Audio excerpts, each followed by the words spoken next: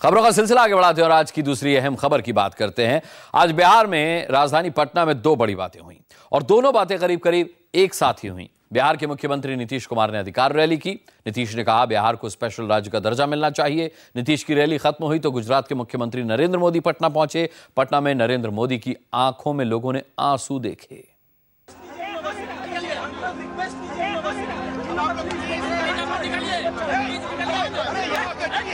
आज नरेंद्र मोदी रो पड़े।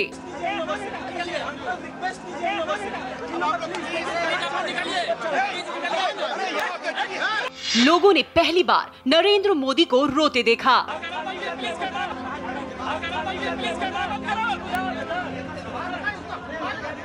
एक बार नहीं, कई बार रोए मोदी।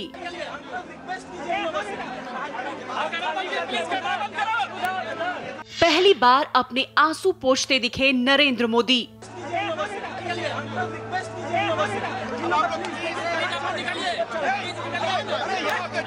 पटना के कौटिल्य नगर में कैलाशपति मिश्र के पार्थिव शरीर पर पहले मोदी ने फूल चढ़ाकर श्रद्धांजलि दी। फिर रो पड़े।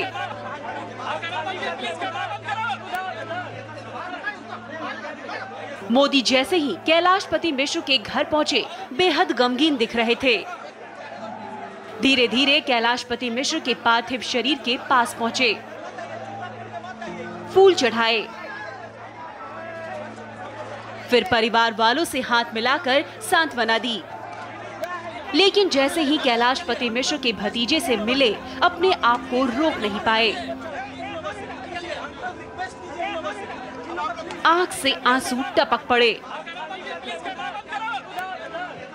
मोदी अपने हाथ से आँसू पोछे, वहीं पर खड़े रहे। बीजेपी प्रवक्ता रविशंकर प्रसाद भीड़ को शांत करने में लगे हुए थे।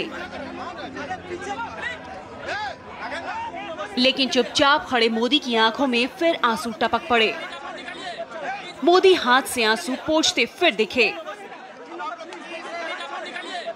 श्रद्धांजलि देने के बाद मोदी जैसे ही घर से बाहर निकले, सबसे पहले कहा कैलाश पति मिश्र जनसंघ और बीजेपी के विकास की नींव का पत्थर थे।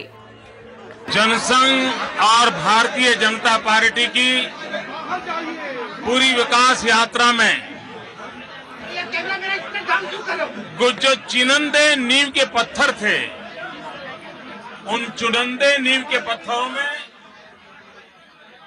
श्रद्धेय कैलाशपति जी एक प्रेरक नाम था।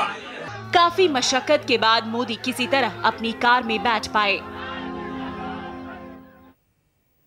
नरेंद्र मोदी आज करीब दो साल बाद बिहार आए थे। मोदी बीजेपी के वरिष्ठ नेता कैलाशपति मिश्र को श्रद्धांजलि देने पहुँचे थे लेकिन पटना पहुँचने पर उनके साथ जो कुछ हुआ उसने देश में उनके बढ़ते कद की तरफ़ नए इशारे किए हैं जिसके बाद बीजेपी और जेडीयू दोनों को नरेंद्र मोदी के बारे में नए सिरे से सोचना पड़ सकता है।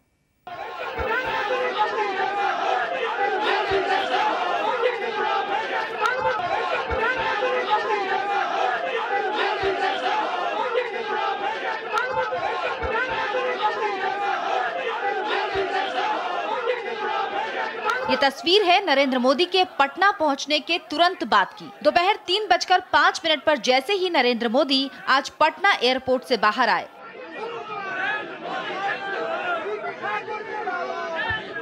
हर तरफ़ मोदी की जय जयकार सुनाई दे रही है।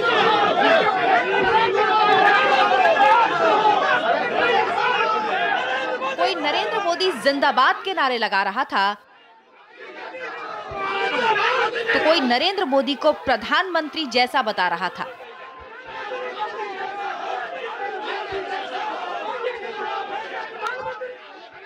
नरेंद्र मोदी के साथ थे बीजेपी के वरिष्ठ नेता रविशंकर प्रसाद। लेकिन हवाओं में नारे सिर्फ़ नरेंद्र मोदी के नाम के गूंज रहे थे।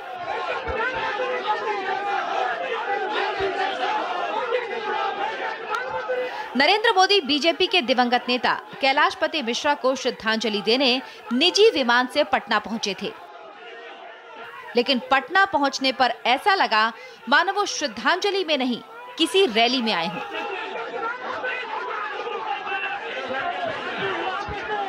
ऐसा लग रहा था जैसे पूरा बिहार नरेंद्र मोदी के स्वागत के लिए हवाई अड्डे पर उतर आया हो।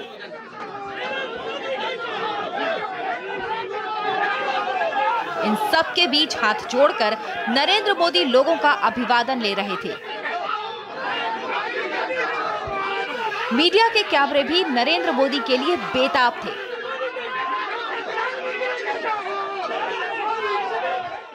नरेंद्र मोदी मीडिया से बात भी कर रहे थे। लेकिन समर्थकों के नारों के शोर के आगे मीडिया के सवाल और मोदी के जवाब सब दब गए। पटना पहुँचे नरेंद्र मोदी की अगुवाई और स्वागत के लिए बिहार के उप मुख्यमंत्री सुशील कुमार मोदी।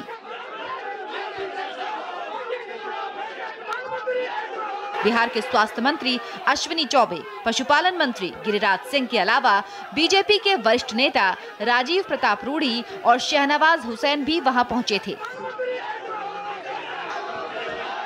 जब मोदी की जय जयकार हो रही थी, उसी समय पटना में नीतीश कुमार अधिकार रैली के ज़रिए अपना दम दिखाने की कोशिश कर रहे थे।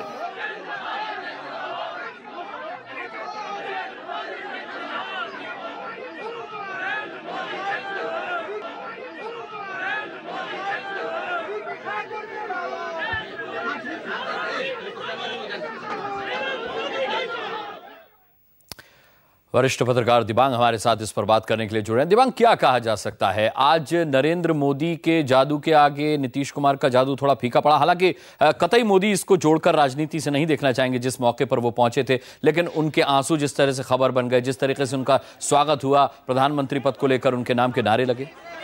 जी हाँ बिल्कुल आज अगर आप देखें तो इससे पहले जिस तरह से नीतीश कुमार ने एक शुरुआत की एक नई बात रखी उन्होंने आगे भविष्य में 2014 में खासतौर पर वो क्या करना चाहेंगे उसका एक तरफ़ इशारा किया कि वो लामबंद करना चाहेंगे पिछड़े राज्यों को क्योंकि हम्म। उनको लगता है कि आगे की जो राजनीति होगी वो विकास की राजनीति होगी लोग बात करेंगे विकास आपने कितना किया हम्म। और उसके लिए पैसों की ज़रूरत पड़ेगी और पैसों के लिए विशेष राज्य का दर्जा ज़रूरी है और पिछड़े राज्यों को लामबंद करने की बात शरद यादव ने भी कही और वही बात नीतीश कुमार ने भी कही और वो बात को बहुत आगे ले गए जब उन्होंने कहा कि मार्च में हम दिल्ली में रैली करेंगे।